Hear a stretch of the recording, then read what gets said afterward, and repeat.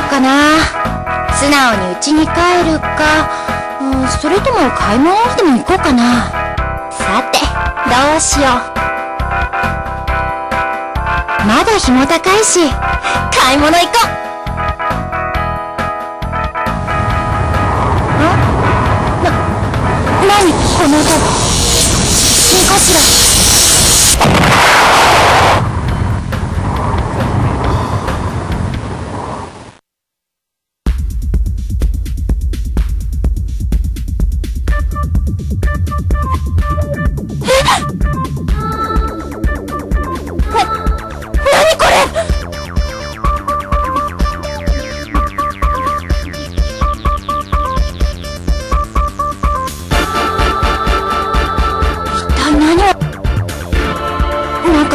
ことない人。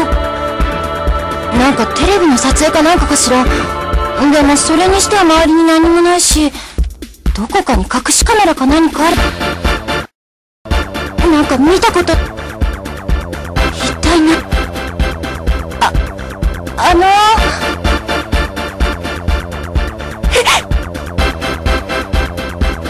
んなの一体とりあえな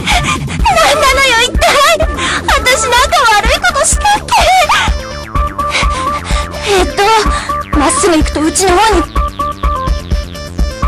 今さら学校に戻っても。はあ早く逃げなきゃ。あ何？まさか。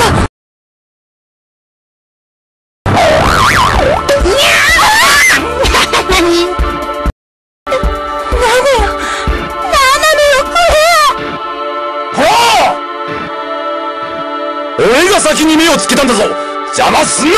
何言ってんだい！お前の方こそ邪魔すんなよな！なんか言い合いしてるけど。邪魔すんなったら邪魔すんな！それはこっちのセリフだい！何なのかしら？言い合いしてる隙に逃げちゃえば追ってこないかな？あでも訳を聞いてみたい気もするし